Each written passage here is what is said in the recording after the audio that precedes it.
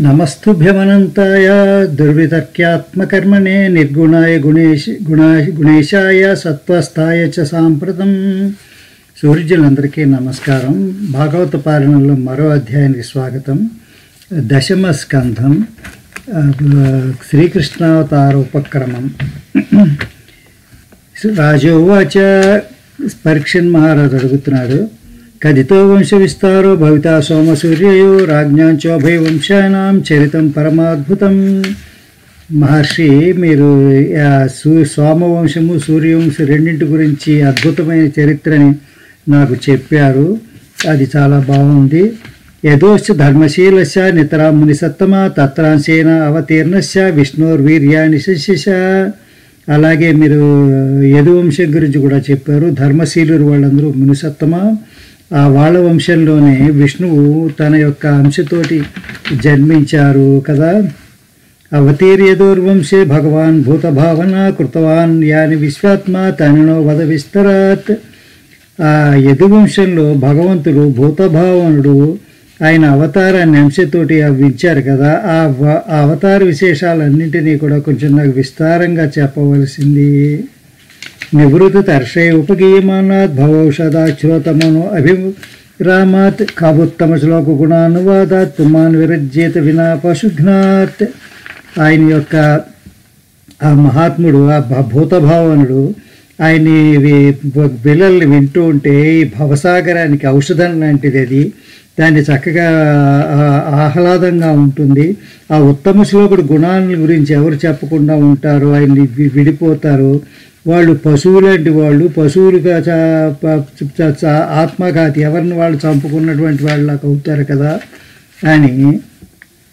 అన్నాడు పితామహామే సమరే అమరంజయై దేవవ్రతాద్యాదిర అతిరథైతి మింగలై దురత్యేం కౌరవ సైన్య సాగరం కుత్వా అతరన్ వత్సపదం స్మేత్లవ మా నా తాతగారు అర్జునుడు కౌ- కురుక్షేత్ర యుద్ధంలో ఆ కౌరవ వస సేన అనే సాగరం అందులో దేవవ్రతుడు అంటే భీష్మ పితామహుడు అటువంటి వాళ్ళు అతిరథులు తిమింగలాలుగా ఉన్నారు. అటువంటి కౌరవ సాగరాన్ని దాటడం దురత్యయం కదా. ఆయన శ్రీకృష్ణుడి యొక్క సహాయంతో వాళ్ళు ఆ సాగరాన్ని ఒక గోష్పాదం అంటే గో ఆవు గిట్టతో ఏర్పడినటువంటి చిన్న గోతిని దాటినట్టుగా దాటగలిగారు.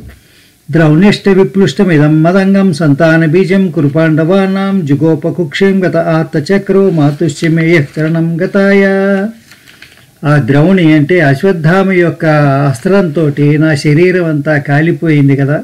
కాలిపోతే దాని మీద కూడా ఆయన చక్రంతో నా మా అమ్మగారి ఉదరంలో ప్రవేశించి నన్ను మా అమ్మగారి అమ్మగారి శరణ వేయడం వల్ల ఆయన నన్ను రక్షించి ఆ కురువు వంశంలోని పాండవులకి ఒక సంతాన బీజాన్ని మిగిల్చారంటే ఆయన వల్లే కదా.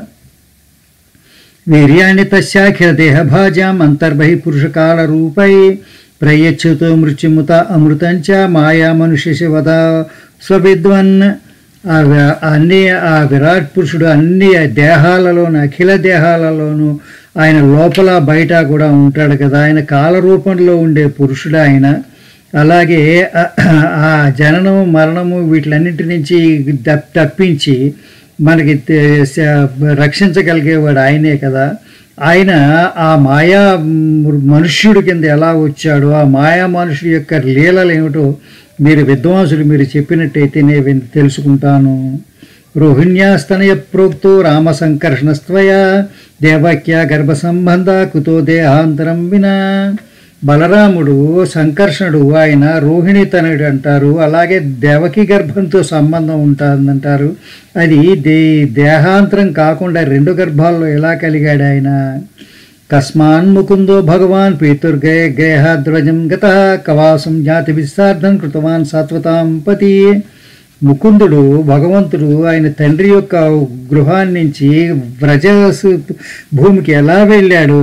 ఎలా వెళ్ళి అక్కడి నుంచి తన తండ్రిని ఇంటి నుంచి గోకల్ గో గోకులానికి ఎలా వెళ్ళాడు? అక్కడి నుంచి అలా అక్కడ ఉన్నటువంటి గోపాలుతో ఎలా ఉన్నాడు? వాళ్ళందరి గురించి ఎలా చెప్పాడు? ఎలా ఏం చేశాడు? వ్రజే వసన్ కిమరకరోన్మధుపుర్యాం చ కేశవ భ్రాతరం చావధీత్కం సం మాతురద్ధాతధర్హణం అలాగే ఆయన కంసుడు తన తల్లి యొక్క సోదరుడు కదా అందువల్ల ఆయన వధింపరాని వాడు అవుతాడు ఆయన మధుర మధురా నగరంలో ఆయన్ని ఎందుకని వధించాడు? దేహం మానుషమాచిత్య కతివర్షాన్ని వృష్ణిభి యదుపుర్యాం సహవాత్సీత్ పత్న్యకత్య భవన్ ప్రభో। అలాగే ఆ మానవ రూపంలో యదువంశులతో కూడి ద్వారకా నగరంలో ఎందుకు ఎంతకాలం ఉన్నాడు మధురా నగరంలో ఎలా ఉన్నాడు అన్నిటికంటే మహాశక్తివంతుడు ఆయన ఆయనకి ఎంతమంది భార్యలు ఉండేవారు? ఏతదన్యచ్చ సర్వం మే మునే కృష్ణ విచేష్టితం భక్తుమరసి సర్వజ్ఞాయ శ్రద్ధదానాయ విస్తృతం ఓ మహాముని ఆ కృష్ణుడి యొక్క చి- లీలలు అవన్నీ కూడా ఇవన్నీ కూడా నాకు వినాలని ఉంది. ఇవే కాకుండా ఇంకేమైనా ఉంటే అవి కూడా వినాలని ఉన్నాయి నేను చాలా శ్రద్ధగా వింటాను. మీరు విస్తృతంగా చెప్పండి.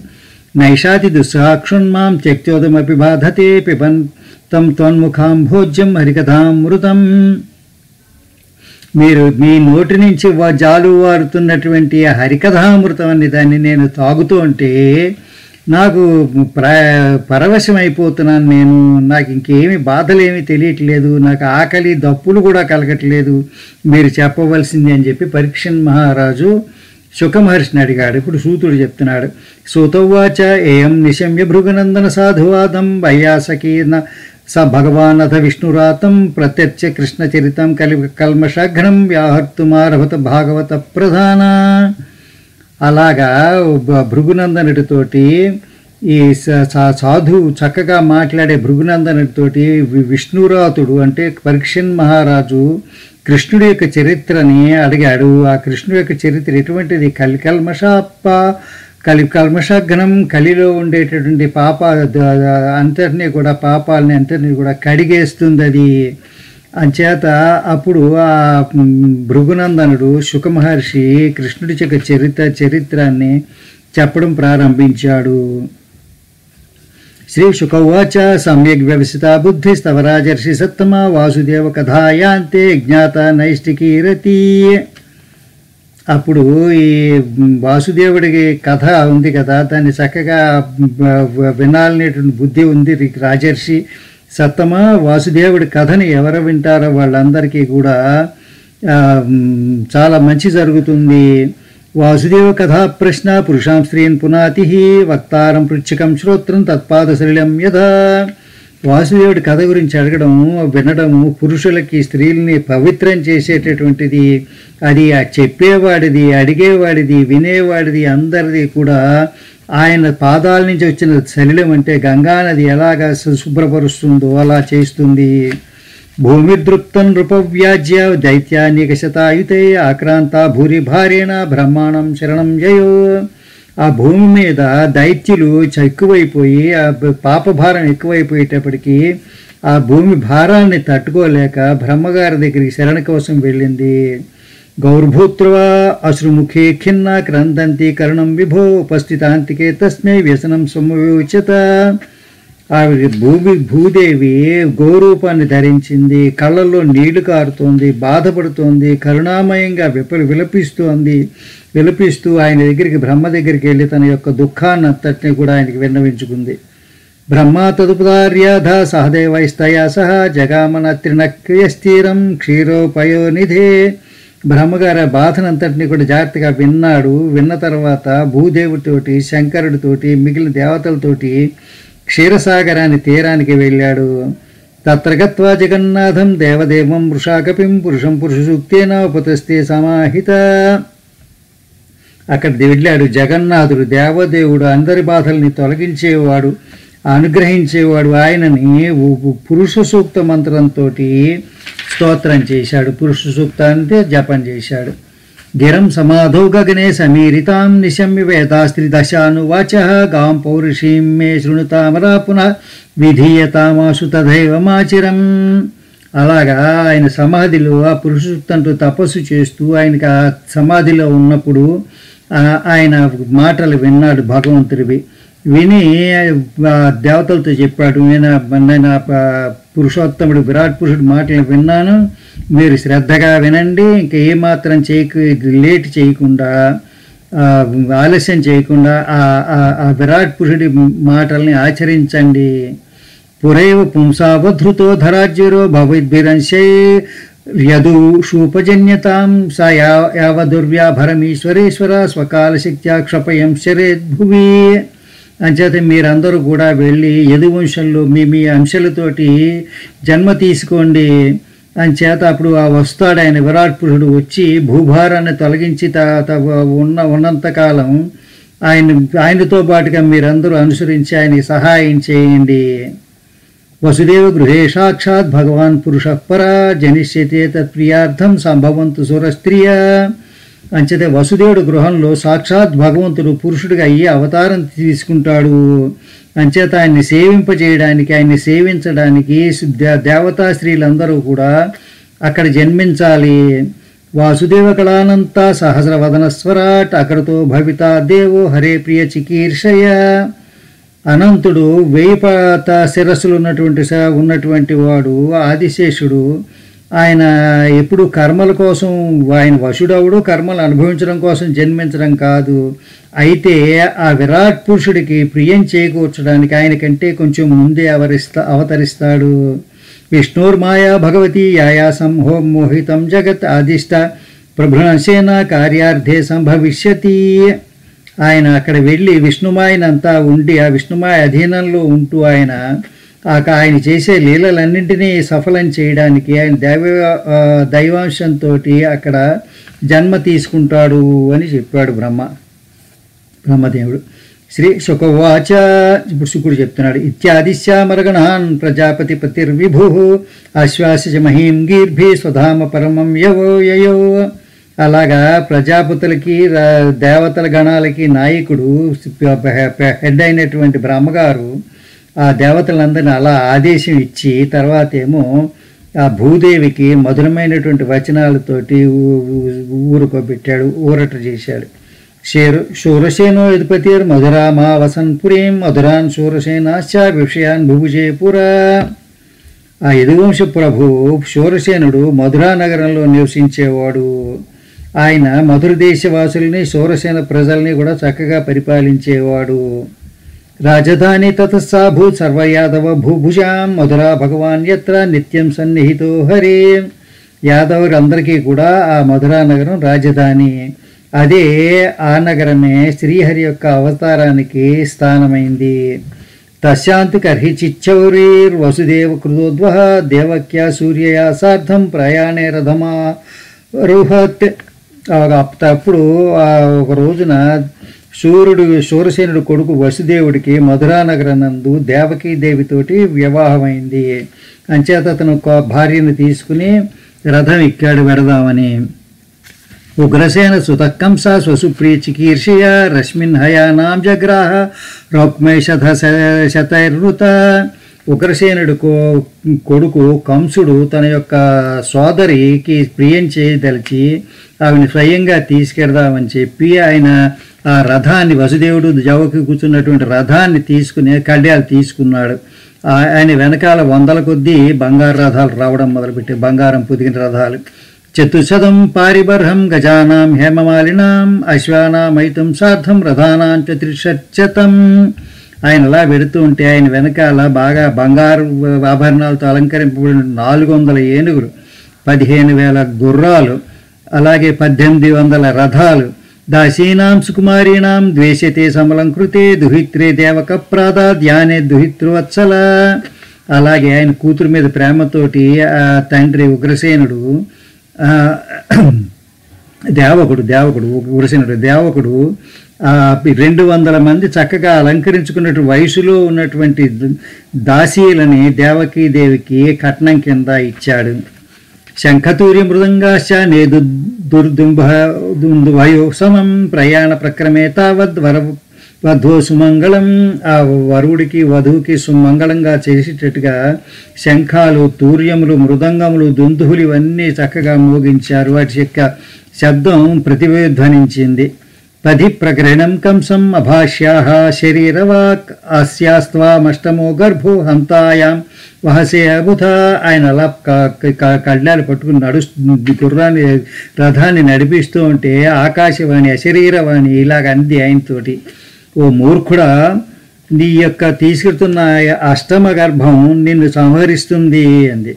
ఇత్యుక్త సకల పాపో భోజానాం కులపాంసన భగనీం హంతుమారబ్ధ ఖడ్గపాణి కచే అగ్రహీత్ ఇలా చెప్పేటప్పటికి ఆ కాలుడు పాపి భోజ వంశాల కులాన్ని చెడగొట్టేవాడు సి- సోదర స- సోదరిని చంపేద్దామని చెప్పి ఖడ్గాన్ని చేత్తో పట్టుకుని ఆవిడ సిగ పట్టుకున్నాడు కత్తాలు నరికేస్తానని। ఇది పాపం ఎందుకన్నారంటే స్త్రీలను చంపడం మహాపాపం. ఏ స్త్రీ అయినా సరే పరస్త్రీని కూడా ఎవరిని మగవాడు అనేవాడు స్త్రీలను చంపకూడదు. అటువంటిది సొంత చెల్లెల్ని సొంత చెల్లెల్ని చంపడం అంటే ఇంకెంత పాపం? సోదరుల్ని సోదరుల్ని ఎప్పుడు చంపకూడదు. చంపడానికి తీసుకున్నాడు. అది కూడా చిక్క సిగ పట్టుకున్నాడు తన చెల్లెలది. ఎంత పాపం? తం జుగుప్సత కర్మాణం నృశంసం నిరపత్రపం వసుదేవో మహాభాగ ఉవాచ పరిశాంతయన్ ఆ జుగుప్సితమైనటువంటి కర్మని క్రూరుడైనటువంటి వాడు దయ లేకుండా చేస్తుంటే మహాభాగుడు వసుదేవుడు ఆయన్ని ఊరుకోబెడుతూ సాంత్వన చెప్తూ ఇలా అన్నాడు. వసుదేవాచ శ్లాఘనీయ గుణప్సూరైర్భవాన్ భోజే యశస్కర సగతం భగనిం హన్య స్త్రియ ముద్వాహ పర్వణి। నీకు చాలా మంచి పొగడదగిన గుణాలు ఉన్నాయి నువ్వు భోజ కులానికి యశస్సు ఇచ్చేటటువంటి వాడి అటువంటి వాడు నీ చెల్లెల్ని స్త్రీని పర్వదినంలో అంటే ఆమె ఇలా శుభ సమయంలో పె- పె- పెళ్ళై పెడుతున్నప్పుడు అత్తవారింటికి వెడుతున్నప్పుడు ఎలా చంపుదాం అనుకుంటున్నావు? మృత్యుర్జన్మవతాం వీర దేహేన సహజాయతే అదివా అశ అబ్దశతాంతే వా మృత్యుర్వై ప్రాణినాం ధ్రువ. పుట్టిన ప్రతి వాళ్ళకి ఓ వీరుడా ఈ దేహంతో పాటే వస్తుంది మృత్యువు. అది వేళ కావచ్చు లేకపోతే వంద ఏడు సంవత్సరాలైనా కావచ్చు కానీ ప్రాణులందరికీ మృత్యు ద్రోము నిశ్చయం కదా? దేహే పంచత్వమాపన్నే దేహి కర్మానుగో అవశ దేహాంతరమును ప్రాప్య ప్రాక్తనం చేసేవపు. ఈ దేహం పంచత్వం పొందినప్పుడు అంటే ఆ మృత్యు దగ్గరికి వచ్చినప్పుడు తన యొక్క కర్మాలని అనుసరించి మరి ఒక దేహం పొందుతుంది. అప్పుడు పొందాక ఈ దేహాన్ని వదులుతుంది. ఇక్కడ ఒక ఇది చెప్తున్నారు దీనికి మరి ఇంకెక్కడ నాకు కనపడలేదు. ఇంకొక దేహం తయారైతే కానీ ఈ దేహాన్ని వదలదు అంటున్నాడు వసుదేవుడు. ఇది గరుడ పురాణకి వాటికి కొద్దిగా తేడాగా ఉంది. ప్రజంతిష్టన్ పదైకేన యథైవైకేన గచ్చతి యథాతృణ జలూకైవం దేహీ కర్మగతిం గత. మనిషి నడుస్తూ ఉన్నప్పుడు రెండో అడుగు వేసిన తర్వాత ఆనిన తర్వాత ఇంకో పాదం ఎత్తుతాడు కదా వెనకాల పాదం ఎత్తే ముందు ముందు పాదం నేల మీద ఆనుతుంది. అలాగే తృణజలువుకు అంటే కొన్ని గడ్డి పురుగులు పాకేటప్పుడు రెండో దాని మీద రెండో గడ్డి పరక మీద కాలు పెట్టిన తర్వాత వెనక వెనక గడ్డి పరక మించి లేస్తుంది. ఇది తృణజలుక న్యాయం అంటున్నారు. అలా చేస్తుంది కదా. నీ దేహం కూడా నీ ఇంకొక దేహం వస్తే కానీ దేహం వదలదు. పుట్టిన ప్రతివాడికి చావు వస్తుంది. ఎందుకు చచ్చిపోతాను భయపడతావు? ఎలా చావు వస్తుందో అలా కర్మల్ని బట్టి వస్తుంది. మేనరుడు చంపేస్తాడు ఇంచేది నేను ఇప్పుడే చంపేస్తాను. ఏమి లాజిక్ అది? అంటున్నాడు. స్వప్నే యథా పశ్యతి దేహమీదృశం మనోరథేనాభినివిష్ట చేతన. దృష్టశ్రుతాభ్యాం మనసా అనుచింతయన్ ప్రపంచతే తత్కిమపి హ్యపస్మృతి. మనం అందరం కూడా నిద్రపోతున్నప్పుడు స్వప్నాల్లో చూస్తూ ఉంటాం. మరి బతికి లే- లేచి ఉన్నప్పుడు ఎవరైనా సంపదల్ని ఐశ్వర్యాన్ని చూసి వాటిని కోరుకుంటూ ఉంటాం. ఇవన్నీ ఆ స్వప్నంలో ఉన్నప్పుడు ఈ ఈ ఐశ్వర్యాన్ని అంతా అనుభవిస్తున్నట్టుగా దరిద్రావస్థను మర్చిపోతూ ఉంటారు. ఒక్కోసారి మెలకుగా ఉన్నప్పుడు కూడా వాటి గురించి ఆలోచిస్తూ తన్మయుడైపోతాడు. అంచేత ఈ మునుపు ఈ- ఎలాగా మనం ఈ శరీరం నుంచి వెడుతూనే ఉంటాం దానికి ఎందుకు వరి? యతో యతి ధావతి దైవచోదితం మనోవికారాత్మకమాప పంచసు గుణేషు మాయా రచితేషు దేహ్యసౌ ప్రపద్యమాన సతేన జాయతే. మనది మన మనస్సు మన శరీరం ఇదంతా కూడా దైవం ఎలాగా చేస్తుందో అలాగా చేస్తూ దైవానుకూలంగా చేస్తూ ఉంటుంది. దైవం ఎలా మన ప్ర- ప్రచోదనం చేస్తే అలా చేస్తుంది. ప్ర- ప్రేరేపిస్తే అలా చేస్తుంది. ఈ ఈ శరీరం ఎప్పుడూ కూడా ఏదో ఒక దాని గురించి ఆలోచిస్తూ ఉంటుంది. అందులో లీనమవుతూ ఉంటుంది. ఇలా ఆలోచించి లీనం అవ్వడం వల్ల వచ్చే జన్మలో అదే శరీరం వస్తూ ఉంటుంది. జ్యోతిర్యథై ఓదక పార్థివేశ్వద సమీర వేగానుగతం విభావ్యతే ఏవం స్వయమాయ రచితేశ్వ సౌపుమాన్ గుణేషు రాగానుగతో విముహ్యతి ఇప్పుడు మనం నీళ్ళు ఉంటాయి సముద్రంలో ఉంటాయి నదుల్లో ఉంటాయి కాలువల్లో ఉంటాయి చెరువుల్లో ఉంటాయి. వాటిలో ఉన్నప్పుడు ఆ నీళ్ళలోంచి సూర్యుడిది కానీ చంద్రుడి కానీ ఆ బింబం ప్రతిఫలిస్తూ ఉంటుంది. అది ఆ గాలి వచ్చినప్పుడు నీళ్ళు కదిలితే బింబాలు కూడా కదులుతున్నట్టుంటాయి. కానీ పైన నిజంగా కదలవు కదా అవి? అలాగే మన జీవుడు మన ప్రాణి మన కర్మల ఫలితంగా ఈ శరీరంలో అజ్ఞానము కా- కారణంగా ఈ సంతోషాన్ని బాధల్ని అనుభవిస్తున్నట్టుగా ఉంటాం. కానీ జీవుడికి ఎటువంటి చలనం ఉండదు కదా? తస్మాన్న కశ్చిత్ ఆచరేత్స ఆచరేత్ సతదావిధ ఆత్మక్షేమమన్విచ్చన్ ద్రోగ్ధుర్వై పరతో భయం. అంచేత మన క్షేమం కావాలనుకుంటే మనం ఇంకెవరికి ద్రోహం చేయకూడదు. మనకి భయం కాకూడదు అనుకుంటే ఇంకెవరికి భయపెట్టకూడదు ఎందుకంటే ఈ చే- ఎవరన్నా ద్రోహం చేసినట్టయితే ఈ లోకంలో శత్రువులకి పరలోకంలో భగవంతుడికి ఆయనతోటి మనకి భయం వస్తుంది కదా. ఏషా తవానుజా బాల కృపణాపుత్రికోపమా హంతం నారసి కళ్యాణీం ఇమాం త్వం దీనవత్సల. నువ్వు దీనవత్సలుడివయ్యా. నువ్వు నీకు దేవకని తోబుట్టువు నీకు పుత్రికతో సమానం చెల్లెలు కూతురుతో సమానం. అంతేకాదు కళ్యాణి అంటే కొత్తగా పెళ్ళి కూతురు ఇంకా ఆవిడకి పదహారు రోజుల పండగ అవలా. అంచేత నువ్వు చంపకూడదు అంతున్నారహసి చంపడానికి మంచిది కాదు అన్నాడు. శ్రీ సుఖ ఉవాచ శుకుడు చెప్తున్నాడు ఏవంశ స సామభిర్భేదై అభిదారుణ అపి దారుణ నాణ్యవర్తత కౌరవ్య వ్రత రాజా ఇలాగా బ- వసుదేవుడు సామభేద సామ ఉపాయంతో భేద ఉపాయంతో చెప్పాడు. సామ అంటే మంచిగా చెప్పాడు చంపకూడదు భేదం అంటే నువ్వు చంపితే నీకు కూడా దెబ్బ తగులుతుందని చెప్పాడు. అయినప్పటికీ కూడా ఎంత చక్కగా చెప్పినా కానీ ఆ కంసుడు తన పద్ధతి మార్చుకోలేదు. నిర్బంధం తస్యతం జ్ఞావా విచింత్య ఆనకదుందుభి ప్రాప్తం కాలం యువో ప్రతివ్యూఢం ఇదంతత్ర అన్వపద్యత ఆనకదుందుభి అంటే వసుదేవుడు ఆయన పుట్టినప్పుడు దుందుబులు మోగాయి. అంచేత ఆయనకు ఆనక దుందుబి అన్నారు. ఆనకములు దుందుబులు మోగాయి. అంచేత ఆ ఈ నిర్భయ ఎలాగో చేసి చంపుతాను చూస్తున్నాడు. పట్టుదలగా ఉన్నాడని చెప్పి భార్యను ఎలాగోలా రక్షించుకోవాలనేటటువంటి నిశ్చయం చేసుకున్నాడు. మృత్యుర్బుద్ధిమతాపోహ్యో యావద్బుద్ధిబలోదయం యదిశో నా నివర్తేత నా అపరాధో అస్తి దేహిన ఆయన ఇలా అనుకున్నాడు ఏమనుకున్నాడంటే మన బుద్ధిబలాన్ని అనుసరించి ప్రతి వాళ్ళు కూడా మృత్యువుని తప్పించుకోవడానికి ప్రయత్నించాలి. ఇంకా ఎంత ప్రయత్నించినా మృత్యువుని తప్పించుకోలేమంటే అలా ప్రయత్నించడంలో దోషం లేదు. ప్రదాయ మృత్యుం పుత్రాన్ మోచే కృపణామిమాం సుతామేది జాయేరన్ మృత్యుర్వ్యాన మ్రియేత్త చేత్ అంచేత నేను ఇతనికి నా కొడుకులను అప్పగిస్తానని చెప్పి ప్ర ప్రతిజ్ఞ చేస్తాను. ప్రతిజ్ఞ చేసి ప్రస్తుతానికి నా భార్యను రక్షించుకుంటాను. ఇంతకుముందు మా కొడుకులు కలిపి కలుగుతారు. కలిగి ఈ లోపల కంసు చచ్చిపోవచ్చు కదా? ఇప్పుడు నేను కదా ప్రతిజ్ఞ చేసి తీర్చుకోలేకపోతే అప్పుడు పెద్ద దోషమే ఉండదు. అని పోతేను. అది అంతేకాకుండా దీని విపరీతం కూడా జరుగుతుంది. అక్కడికి లేక మనసు మారచ్చేమో ఏం జరుగుతుందో కాలంగా జరిగే కొద్దీని. విపర్యో వాక్యం నా సత్యాద్గతిర్ధాతుర్ ఉపస్థితో నివర్తేత నివృత్త పునరాపతేత్.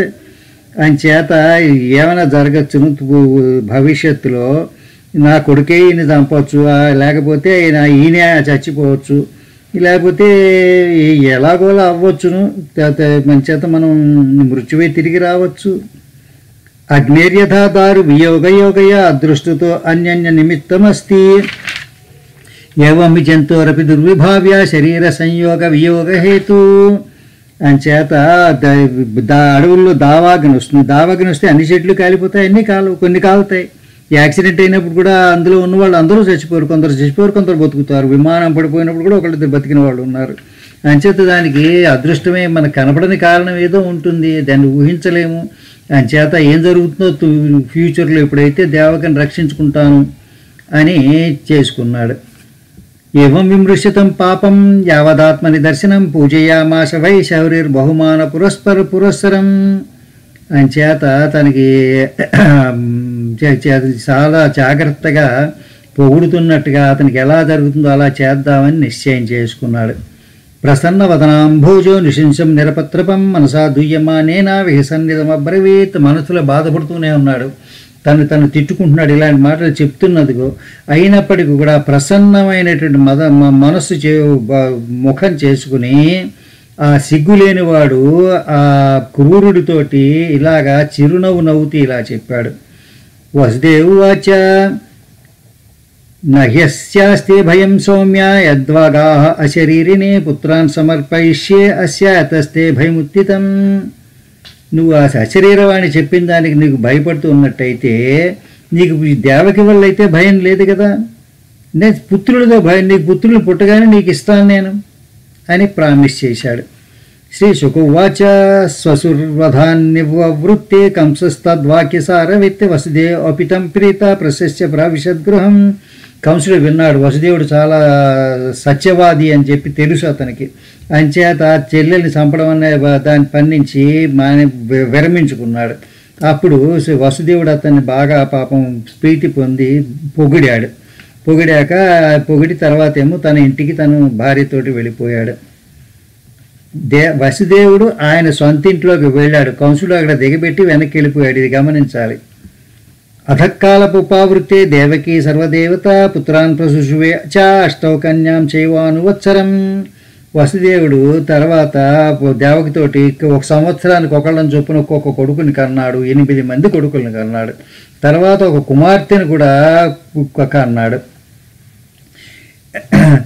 కీర్తిమంతం ప్రథమజం కంసాయానక దుందుభి అర్పయామాస కృచ్ఛేణ సో అనృతాదతి విహ్వల అలాగే వసుదేవుడు తన వాగ్దానం ప్రకారం మొదటి సంతానం ఆయన సంతానం పేరు కీర్తిమంతుడు మొదటి కొడుకు అన్న కృష్ణుడికి పెద్ద అన్నగారు కీర్తిమంతుడు. ఆయన్ని తీసుకెళ్ళి కంసుడికి అప్పగించాడు. కానీ అప్పగించినప్పుడు చాలా పాపం విహ్వలమైపోయింది అతని. మనసు చాలా బాధపడింది. అయినప్పటికీ కూడా వాగ్దాన భంగం చేయనని చెప్పి తీసుకెళ్ళి ఇచ్చాడు. కింద సహం సాధూనాం విదుషాం కిమపేక్షితం కిం కార్యం కదర్యాణం దుశ్యజం కిం ధృతాత్మనం రాజా సాధు పురుషులకి సత్పురుషులకి ఎంత ఆపదనైనా కూడా తట్టుకోగలరు? వాడికి ఎంతైనా ఇది ఉంటుంది. వాళ్ళకి ఐహిక సుఖాల మీద ఎటువంటి ఆపేక్ష ఉండదు. కానీ కదర్యాణ నీచులు వాళ్ళకి వాళ్ళు వాళ్ళ సుఖం కోసం అని చెప్పి ఎటువంటి పాడు పనులకైనా చెప్పి మొదలు పెట్టేస్తారు భగవంతుణ్ణి మనసులో పెట్టుకున్న ధృతాత్ములకి అన్ని తృణప్రాయంగానే కనపడతాయి. దృష్ట్వాసమత్వం తచ్చౌరే సత్యే చైవ వ్యవస్థితిం కంసహృష్టమనారాజన్ ప్రసన్నితమబ్రవీత్ వసుదేవుడి యొక్క సత్య పరిపాలనకి చూశాడు కంసుడు. చాలా సంతోషపడ్డాడు మనసులో. "ఓ రాజా ఆయన చిరునవ్వు నవ్వుతూ ఆ వసుదేవుడితోటి ఇలా అన్నాడు. ప్రతియాది కుమారు వయం నహ్యస్మాదస్తి మే భయం అష్టమాద్యువాయోర్గర్భాన్ మృత్యుర్మే విహిత కిల. వసుదేవ నాకు ఈ కుర్రాడితో నాకేం భయం అయ్యా? వీడు పెద్దవాడు నాకు అష్టమ గర్భంతో కదా భయం. ఆకాశవాణి చెప్పింది అంచేత ఇతన్ని తీసుకుపోవన్నాడు తథేతి సుతమాదాయ యయా వానక దుందుభి నాభ్యనందత తద్వాక్యం అసతో అభిచితాత్మన. కానీ వంశుడు కంసుదేవుడు తప్పనిసరిగా అలాగే అని చెప్పి కొడుకుని తీసుకుపోయాడు. కానీ ఈ కంసుడు వాడి నిలకడ లేనివాడు దుర్బుద్ధి ఏం వస్తుందో అనుకుంటూ బాధపడుతూనే వెళ్ళిపోయాడు. కానీ వాటిని మాత్రం నమ్మడానికి ఏమాత్రం ఇది అతనికి లేదు మనసులో. నందాధ్యాయే వ్రజే యాశామి యాశామీషాం వృష్ణయో వసుదేవాద్య దేవక్యాద్యాది స్త్రియ సర్వే వై దేవతా ప్రాయ ఉభయోరపి భారత జ్ఞాతయో బంధుసుహృదో ఏచకంసమనువ్రత ఒకసారి నారద మహర్షి వచ్చాడు కంసుడి దగ్గరికి. వచ్చి గోకులంలో ఉండేటువంటి వాళ్ళందరూ వాళ్ళ భార్యలు విష్ణుదేవ వంశానికి చెందిన వాళ్ళు వాళ్ళు దేవకి అటువంటి యదు స్త్రీలంతా కూడా అక్కడ జ్ఞాతులు బంధుమిత్రులు వీళ్ళందరూ కూడా దైవాంశ సంభూతులు. నిన్ను అనుసరించే వాళ్ళు అసురులు. ఏతత్ కంసాయ భగవాన్ శశంశాభ్యేత్య భూమేర్భారయమాణానాం దైత్యానాం చ వధోద్యమం. అలాగే ఇప్పుడు భూమి మీద భారం ఎక్కువైపోయింది అయిపోయింది కాబట్టి ఈ భూభారాన్ని తగ్గించడానికి దైత్యులు వధించేటటువంటి ఉద్యమం చేస్తున్నారు దేవతలు ఆయన చెప్పాడు. ఋషేర్ ఋషిర్ వినిర్గమేకంసు యదూన్మత్వాసురానితి దేవజ్ఞ గర్భసంభూతం విష్ణుంచ స్వవధం ప్రతి.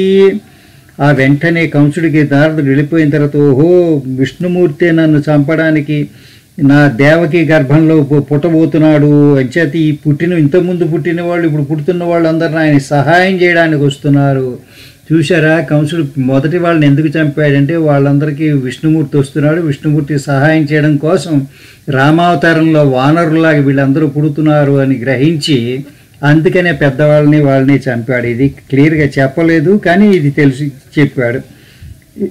మత్వాసురానితి దేవతలే పుడుతున్నారు ఇలాగా అని చెప్పి. దేవకీం వసుదేవంచ నిగృహే నికడైర్గృహే జాతం చిత మహాన్ పుత్రం తయోరజన శంకయ్య. వెంటనే ఏం చేశాడు? ఈ దేవకిని వసుదేవుల్ని కూడా సంఖ్యలతో బంధించేసి జైల్లో పెట్టేశాడు చెరసాల్లో. ఆ దేవకి వసుదేవులకి కొడుకుని కొడుకులు కూడా తనకి వీళ్ళు నాకు ఎప్పుడో నాకు అపకారం చేస్తారని చెప్పి పుట్టిన వాళ్ళని పుట్టినట్టుగా చంపేశాడు మాత్రం పితరం భ్రాతృన్ సర్వాశ సూర్యస్తదా గ్రంథి హ్యస్తృప్తో లుబ్ధ రాజాన ప్రాయశో భువి. అంచేత ఈ రాజ్యకాంక్ష ఎక్కువైపు వ్యామోహంలో పడినటువంటి రాజులు ఎవరి వల్ల ప్రమాదం వస్తుందని ఎప్పుడు కూడా జా జాగ్రత్తగా ఉండి యుక్తాయుక్తాలని మర్చిపోయి సోదరులని బంధుమిత్రులని తల్లిదండ్రులని కూడా క్రూరంగా చంపేస్తారు అని శుకుమహర్షి అన్నాడు. ఆత్మానమిహ సంజాతం జానన్ ప్రాగ్ విష్ణునాహతం మహాసురం కాలనేభిం యధవిస్స వ్యరుధ్యత ఆ నారదుడితో తను తెలుసుకున్నాడు తను ఇంతకుముందు జన్మలో కాలనేమైనటువంటి రాక్షసుణ్ణి అంచేత నేను ఇలా పుట్టాను అంచేత వీళ్ళ ఉన్నారు అంచేత యాదవులందరూ కూడా నాకు శత్రువులు అని చెప్పి వాళ్ళందరి మీద వాళ్ళందరూ దేవతల కింద దేవతలు వాళ్ళ హంశలో పుట్టారని తెలుసుకోవడం వల్ల వాళ్ళందరి మీద విరోధం బాగా పెంచేసుకున్నాడు వైరాన్ని పెంచుకున్నాడు. ఉగ్రసేనంచ పిత్రం యదుభూజాంధకాధిపం స్వయం నిగృహ్య బుభుజే శూరసేనాన్ మహాబల. చేసుకుని ఇంకేం చేశాడంటే మహాబలశాలి కంసుడు రాక్షసుడు కదా భోజవంశము అంతక వంశానికి అధిపతి తనకు తండ్రి ఉగ్రసేనుడు ఈయనైతే వాళ్ళ యాదవులకి సింపథెటిక్గా ఉంటాడని చెప్పి ఆయన చెరసాల్లో ఆయన కూడా చెరసాల్లో బంధించేసి ఇక తనే స్వయంగా పరిపాలించడం మొదలుపెట్టాడు. సూరసేనుడు రాజ్యాల్ని తన రాజ్యాల్ని అందరినీ కూడా ఆయనే పరిపాలన చేయడం మొదలుపెట్టాడు. అన్నీ ఆక్రమించేశాడు. తర్వాత ఏం జరిగింది? మరో అధ్యాయంలో చూద్దాం. ఇది శ్రీమద్భాగవతే మహాపురాణే పరమంశ్యాం సంహితాయాం దశమస్కందే పూర్వార్ధే శ్రీకృష్ణావతారోపక్రమ. प्रथमो अध्याय.